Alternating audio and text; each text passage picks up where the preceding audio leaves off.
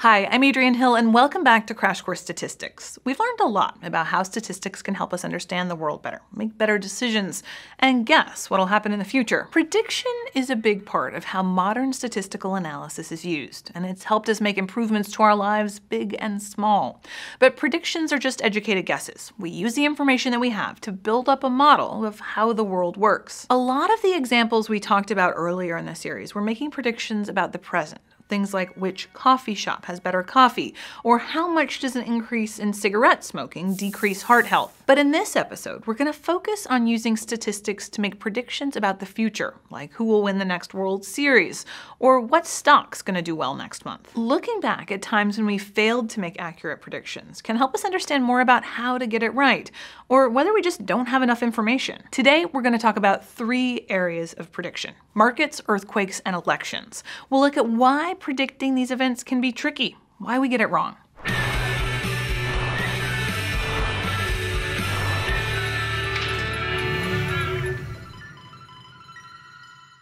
Banks were influential in creating the perfect storm that led to the 2008 financial crisis. If you've seen The Big Short or read the book it's based on, you know that. You also know that Steve Carell should never go blonde again. The financial crisis is really complicated, and we're going to simplify it a lot here, but if you're interested, you can check out episode 12 of our economics series.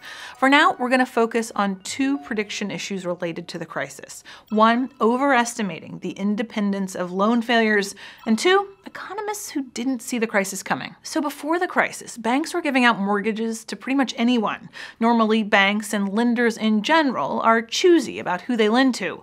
If you give someone a million dollar loan and they can't pay it back, you lose out. But banks weren't holding on to that debt. They were selling it to others. They combined mortgages into groups and sold shares of the loans as mortgage-backed securities. The banks knew some people wouldn't pay their loan in full. But when the mortgages were packaged together, the risk was supposedly mitigated. Say that there's a 10% chance that each borrower will default on or fail to repay their loan.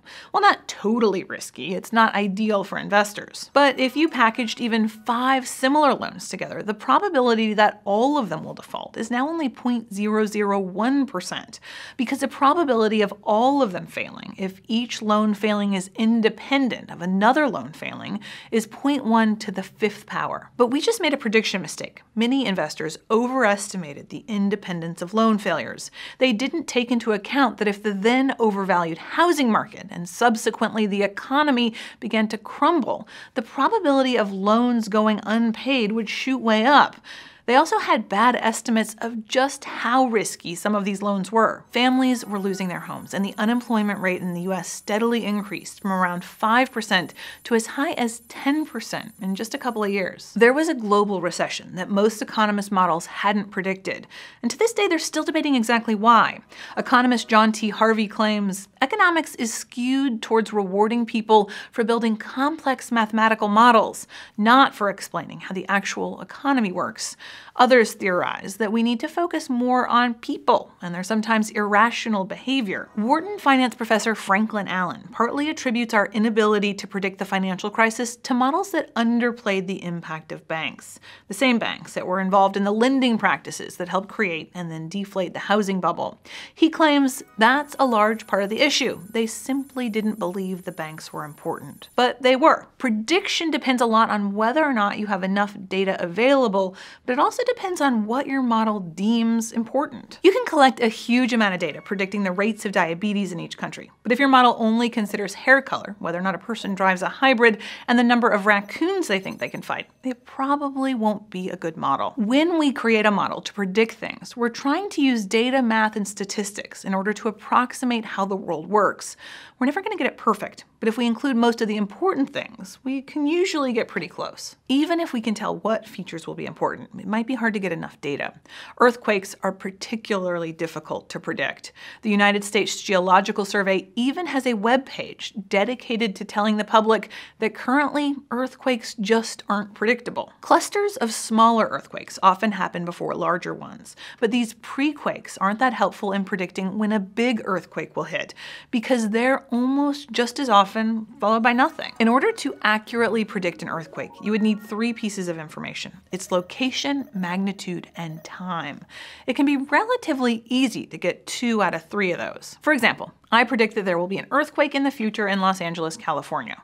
And I'd be right. But unless I can also specify an exact time, no one's going to be handing me any honorary degrees in seismology. We're not bad at earthquake forecasting, even if we struggle with accurate earthquake prediction. Earthquake forecasting focuses on the probabilities of earthquakes, usually over longer periods of time.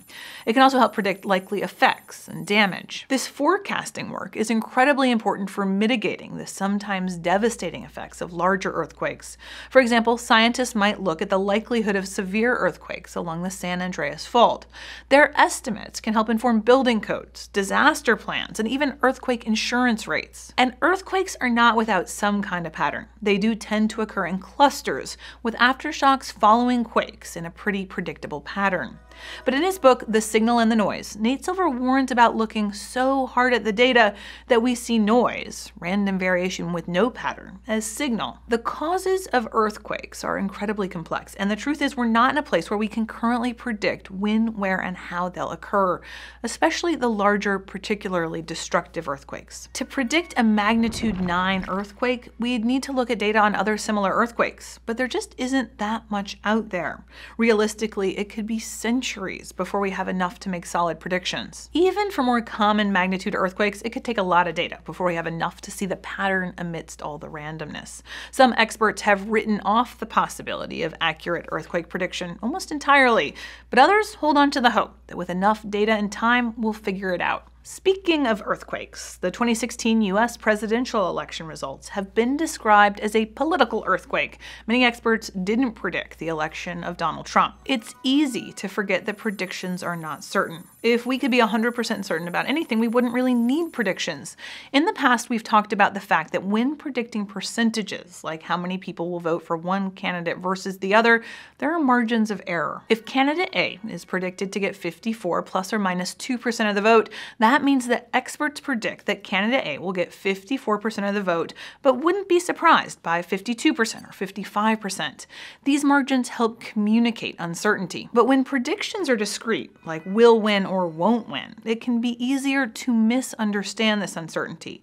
It's possible for predictions to fail without models being bad. Nate Silver discusses the fact that many predictions put Trump's chance of winning the 2016 presidential election at about 1 in 100.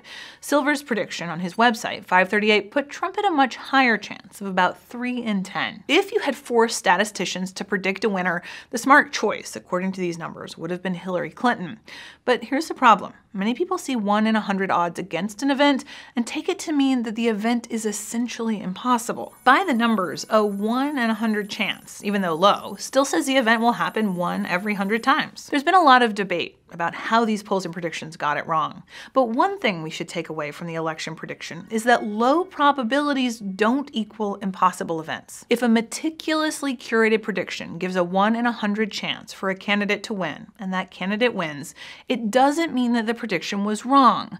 Unlikely things do happen, and we need to take that into account. But we should still keep striving to make our polls better. Many who've done post-mortems on the 2016 election attribute some blame to biases in the polls themselves. According to the New York Times, well-educated voters are much likelier to take surveys than less educated ones.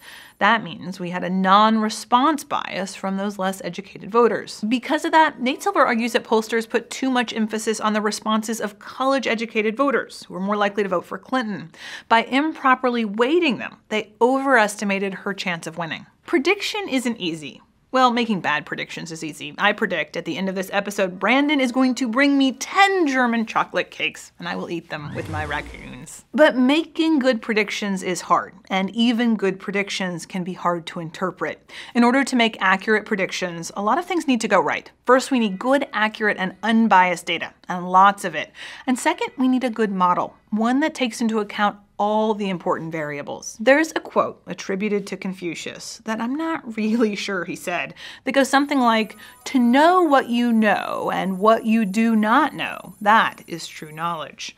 For example, I know that I don't know that he said that, so I am quite knowledgeable. There's great value in knowing what we can and can't predict. While we shouldn't stop trying to make good predictions, there's wisdom in recognizing that we won't always get it right. Knowing what we can't accurately predict may be just as important as making accurate predictions. Thanks for watching. I'll see you next time. Crash Course Statistics is filmed in the Chad and Stacey Emigholz studio in Indianapolis, Indiana, and it's made with the help of all these nice people. Our animation team is Thought Cafe. If you'd like to keep Crash Course free for everyone forever, you can support the series at Patreon, a crowdfunding platform that allows you to support the content you love. Thank you to all our patrons for your continued support. Crash Course is a production of Complexly. If you like content designed to get you thinking, check out some of our other channels at complexly.com. Thanks for watching.